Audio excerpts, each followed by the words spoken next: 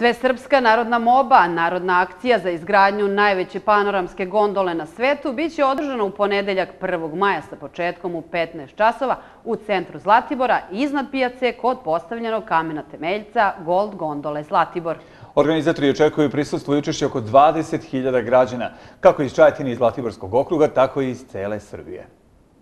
Cilj sve srpske mobe, kako to kaže prvi čovjek opštine Čajetina, da se kompletnom srpskom narodu pošalje poruka da opština Čajetina na ovaj način štiti srpsku imovinu, kao i da se nadležnim institucijama postavi pitanje zašto još uvijek ne žele da reši pitanje imovine i zašto još od 2000. godine nije razgraničen državni i društveni kapital, kao i kome odgovara da se, kako to Stavatović kaže, na ovaj način krčme državni kapital i poklanja nepoznatim ljudima. Mi upravo ovom konferencijom za štampu i ovom obom hoćemo da pozovemo da probudimo srpski narod i nadležne institucije koje bi trebale da se bave ozbiljno i ozbiljnije ovim poslovima, da sačuvamo to narodnu imovinu, a uporedo sa tim na toj narodnoj imovini, kako naši zakoni nalažu, kako naša planska dokumentacija nalaže i kako propisuje da izgradimo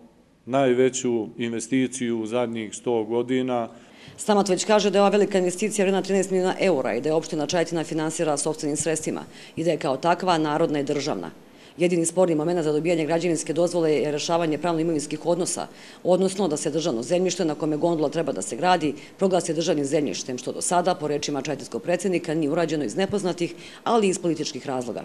Očekujemo da će najveći broj učesnika MOBE biti sa teritorije opštine Čajetina i iz Zlatiborskog okruga, ali sam sasvim siguran da će veliki broj ljudi doći iz čitave Srbije nakon današnjeg poziva i uopšte poziva koje ćemo upućivati narednih dana.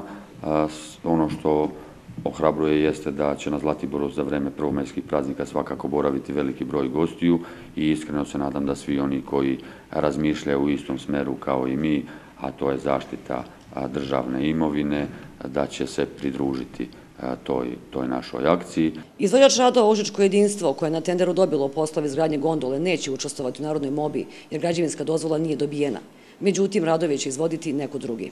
Mi smo se potrudili, naravno, da e, preduzeća koja budu učestvovala, kako naša javna preduzeća, tako i privatnici, e, budu, e, da kažem, kvalitetno osposobljeni za ove vrste radova i moram da kažem da u svakom slučaju izgradnja stanica pod nadzorom proizvođača opreme iz Francuske koji nije vezan, dakle, za tu, kažem, građevinsku dozvolu, neće imati nikakvih problema niti prepreka. Predstavnici opštine pozivaju sve građane Srbije da dođu na Zlatibor za praznik rada i učestvuju u izgradnji gondole, a radovi, po rečima Bojane Božanić, neće stati dok cela investicija ne bude realizovana.